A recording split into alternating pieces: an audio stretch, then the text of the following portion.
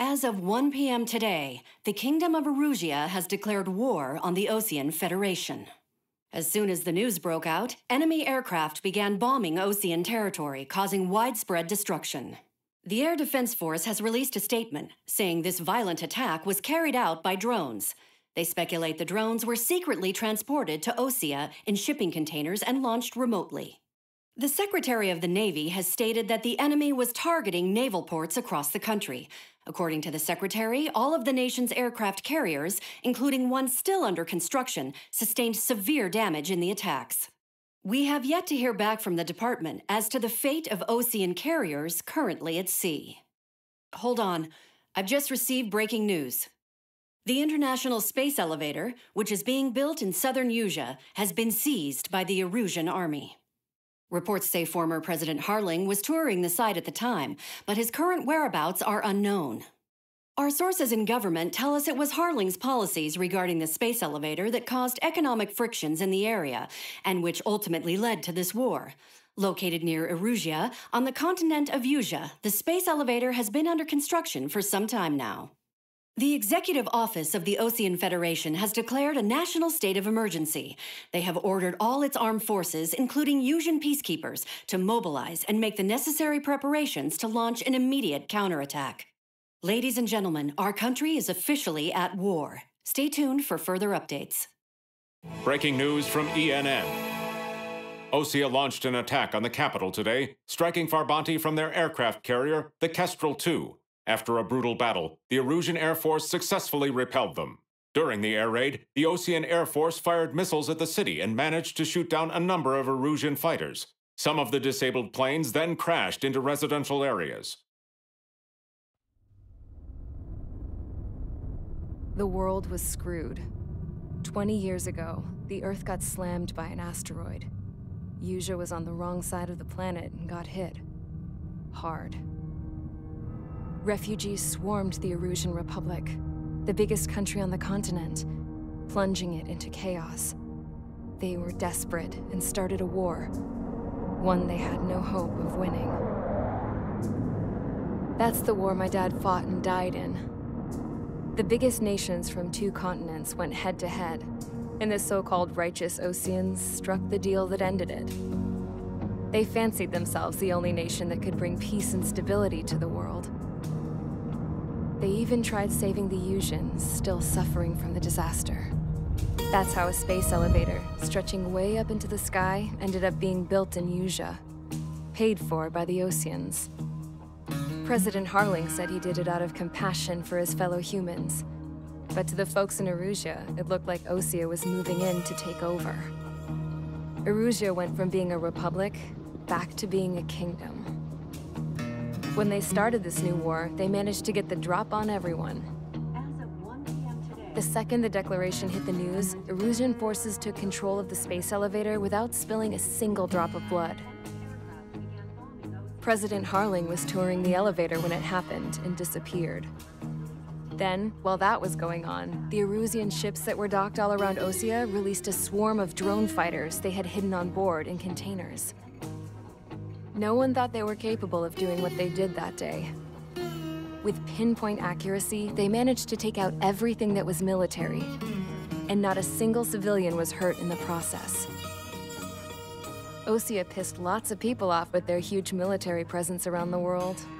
Erusia didn't have the same reach, but they could hit their targets faster and cleaner.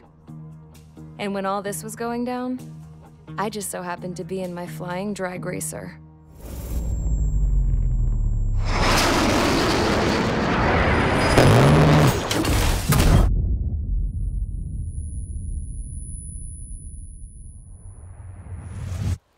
In case you were wondering, yeah, I survived. I crashed in a bombed-out Osean Air Force base, then got arrested for breaking wartime aviation laws or some crap. The world went from being at peace to being at war, all in the blink of an eye. Princess Rosa Cossette D'Elise of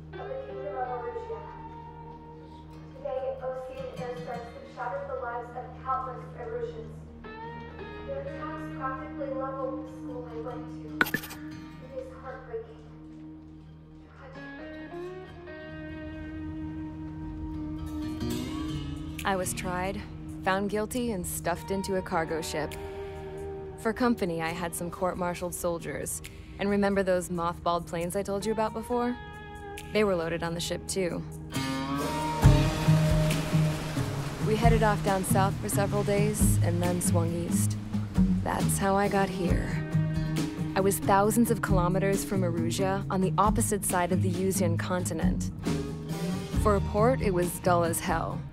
It had three rusty patrol boats, and the base? The fences were topped with razor wire, the tower had a searchlight and machine guns, and a truck with a gun turret was parked in front of the gate.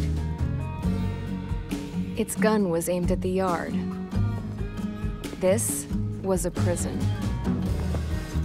This place looked like a full-on base. But half the tanker trucks were just big balloons, and the runways weren't even paved, just painted on the dirt. The whole place was just one big fat lie. The only reason I was here is because they knew I'd restored a supersonic plane. They wanted me to make something out of the mothballed planes they brought, that they could park on the fake runway. Can you believe that shit? So, I tried to escape. They found out and set the dogs on me.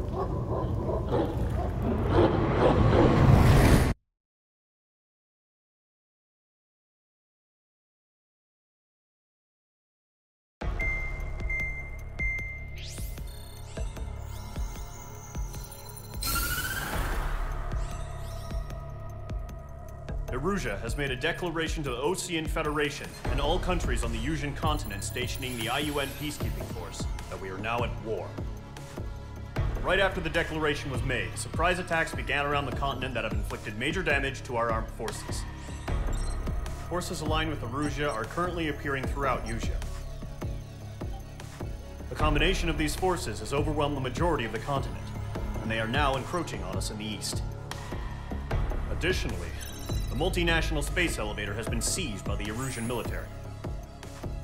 After the previous war, the space elevator became both a symbol of peace and a valuable asset in the fight against growing energy concerns. Whoever has control of it will have enormous influence over the entire continent. We cannot turn a blind eye to this critical situation. The Fort Grays Air Base Squadron has been entered into the order of battle to reclaim the elevator as an advance element. First, you will attack all hostiles coming in the east of Schofield Plateau to stop any interference with the Allied ground troops. The enemy has deployed several vehicles equipped with anti-air radar along the roads. You are to destroy them. They should not pose much of a threat. However, there is a high likelihood that the attack will draw more enemy air support. If that happens, fight them off swiftly and establish air superiority.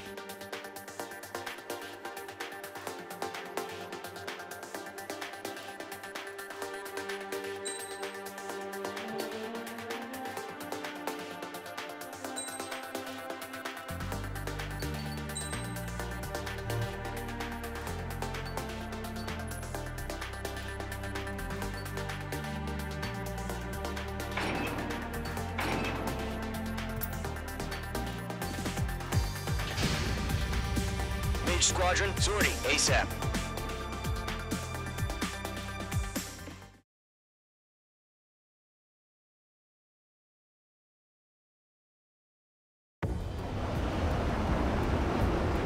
Current target is on rails, but there's still military vehicles and anti-air weaponry. Destroy the target. But HQ has made it clear that no harm should come to civilians and no damage is to be done to public facilities. But, uh, any aircraft shot down could land in civilian territory. No point arguing. That's how war is these days.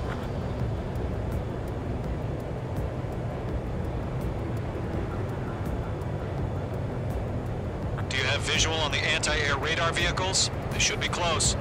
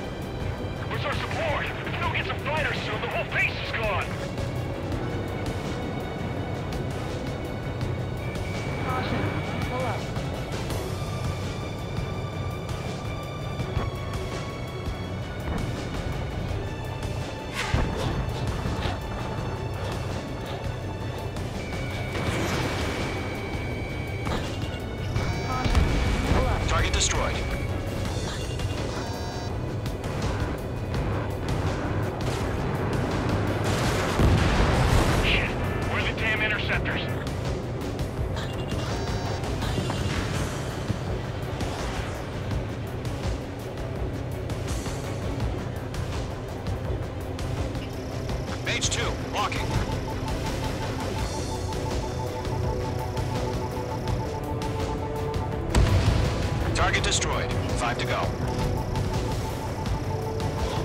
Get the fighters out there! Take the radar vehicle!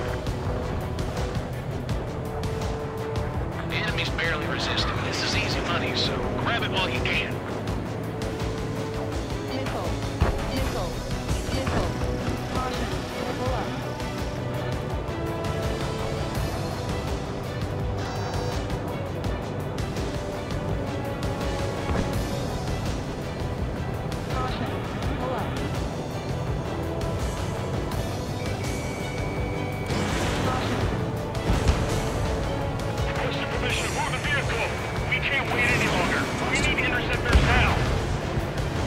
Target destroyed. Three to go.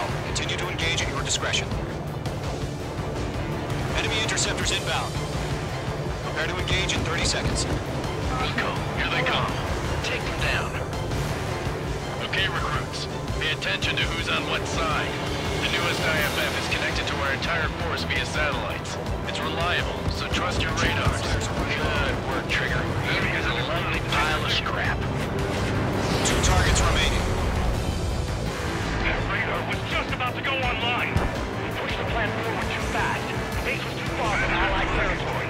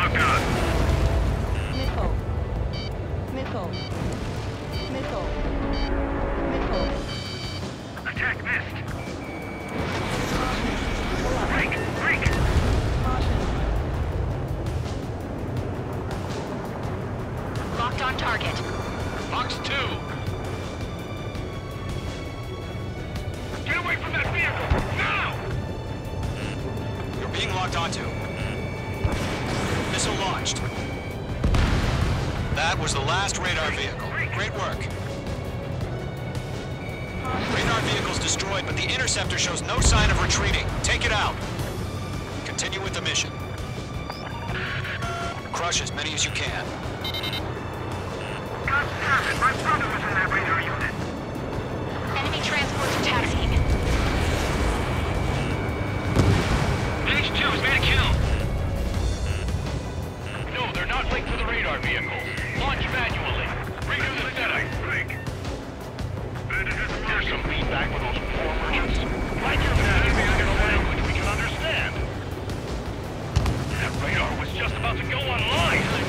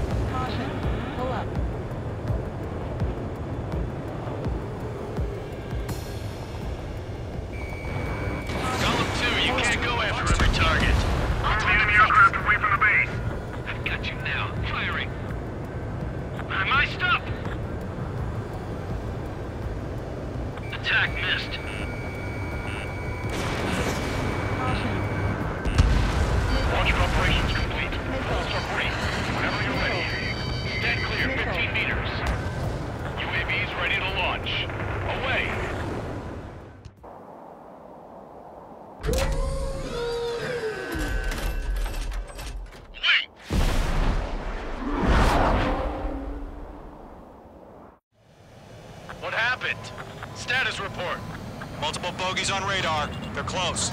Wait, they're being launched. You're clear to engage. They're probably hostile. Judging by the way they look and move, they gotta be drones. Well spotted, clown. No doubt about it, we're dealing with UAVs. But that doesn't change a thing. Just think of them as somewhat clever decoys.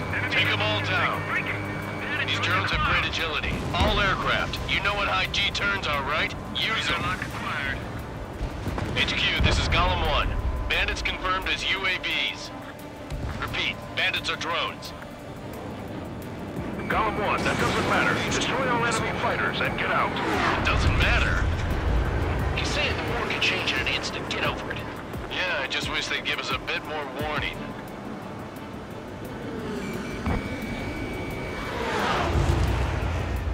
Golem 2, the enemy's reading you.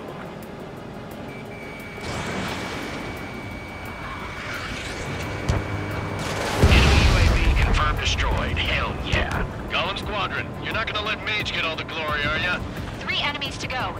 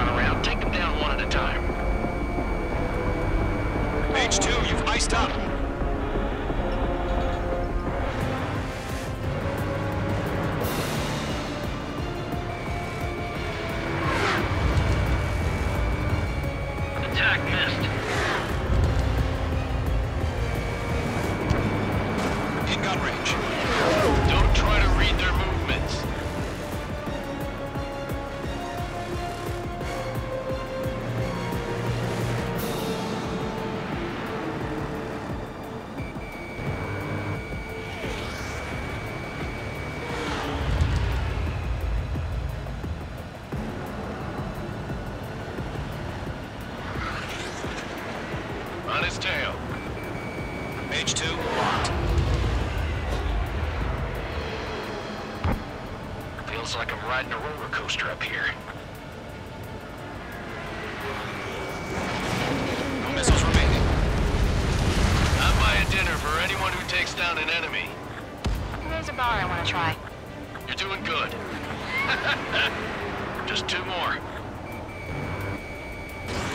Fox 2, Fox 2. One to go. Let's get through this without any casualties.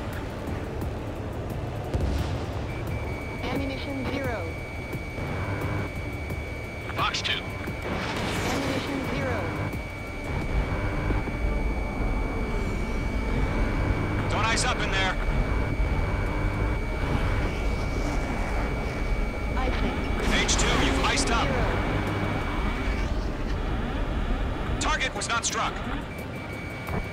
I'm iced up. They won't show up on the radar. Ammunition zero. In gun range. Nice kill, Trigger.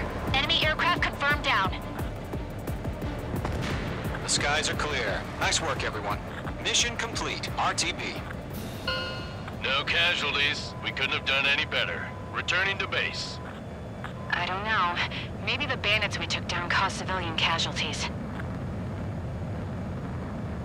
No point arguing. That's how war is these days. You shoot, someone gets killed. The guys in charge take care of the rest.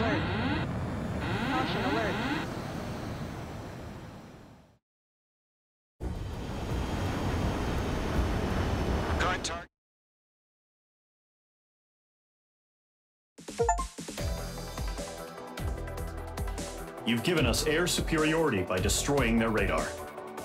The first barrier keeping us from retaking the space elevator is gone. Now is the time to group up and begin the counteroffensive. Let us reclaim what is ours.